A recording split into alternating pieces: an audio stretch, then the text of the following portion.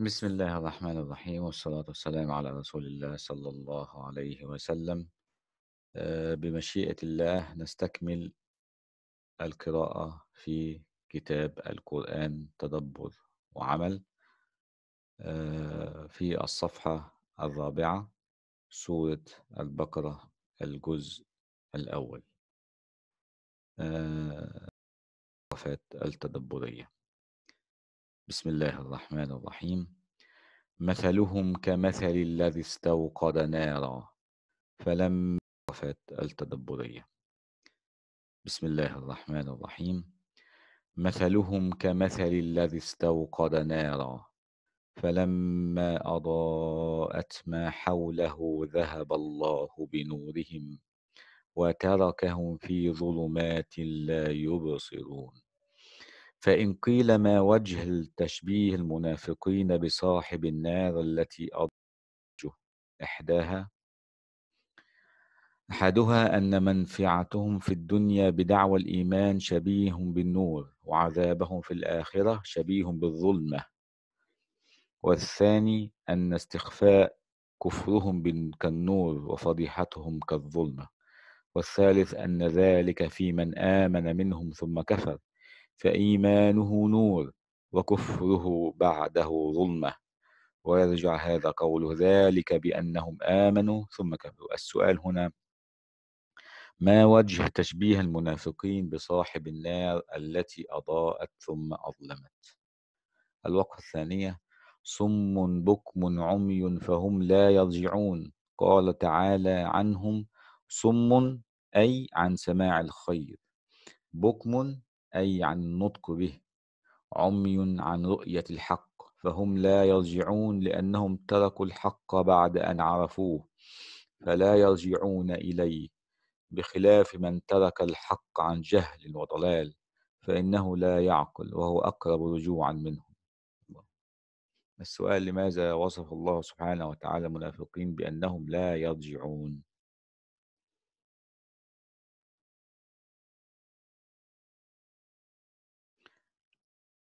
الوقفة الثالثة. ولو شاء الله لذهب بسمعهم وأبصارهم إن الله على كل شيء قدير. إنما وصف الله سبحانه وتعالى نفسه بالقدرة على كل شيء في هذا الموضع. لأنه حذر المنافقين بأسه وسطوته وأخبرهم أنه بهم محيط. وعلى إذهاب أسماعهم وأبصارهم قدير.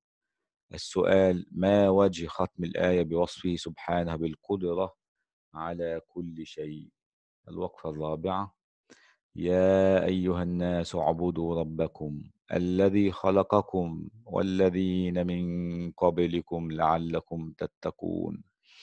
اعبدوا ربكم يدخل فيه الإيمان به سبحانه وتوحيده وطاعته فالأمر بالإيمان به لمن كان جاحدا.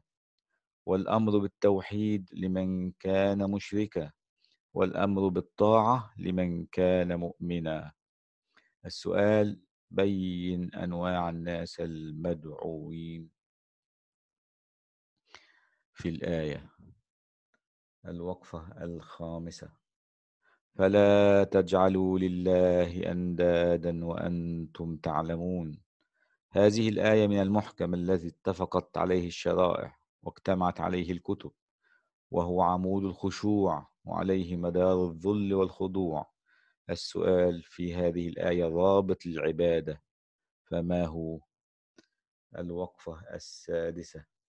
وإن كنتم في ريب مما نزلنا على عبدنا فأتوا بسورة من مثله.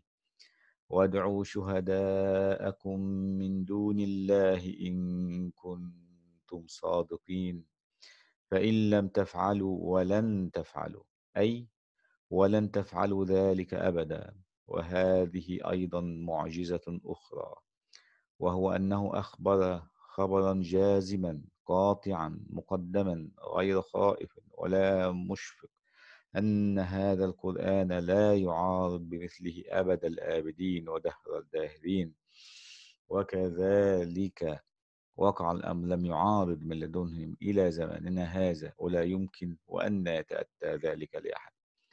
السؤال هذه الآية تدل على معجزة ظاهرة للقرآن الكريم. وضحها الوقفة. السابعة. وقودها الناس والحجارة.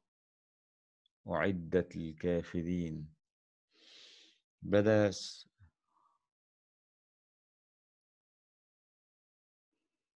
وبدأ سبحانه بالناس لأنهم الذين يدركون الآلام أو لكونهم أكثر إيقادا من الجماد لما فيه من الجلود واللحوم والشحوم لأن ذلك مزيد من التخويف. لماذا قدم الناس على الحجارة في إيقاد النار التوجيهات.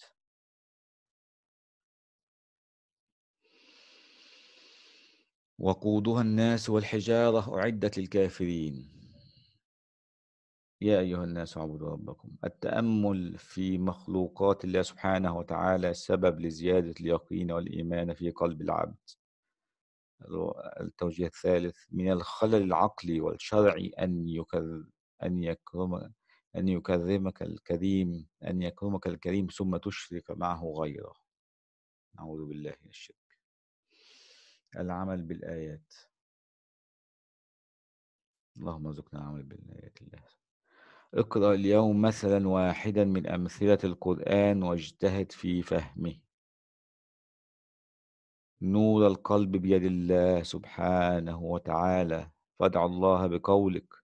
اللهم اجعل في قلبي نورا وفي سمعي نورا وفي بصري نورا. آمين الثالث العمل الثالث تأمل هذه الآية ثم استخرج منها فائدة وأرسلها في رسالة. فاتقوا النار التي وقودها الناس والحجارة. معاني الكلمات. بكم أي لا ينطقون بالحق. كصيب أي كمطر شديد. اللهم ارزقنا العمل بالقرآن. وتقبل منا رب العالمين.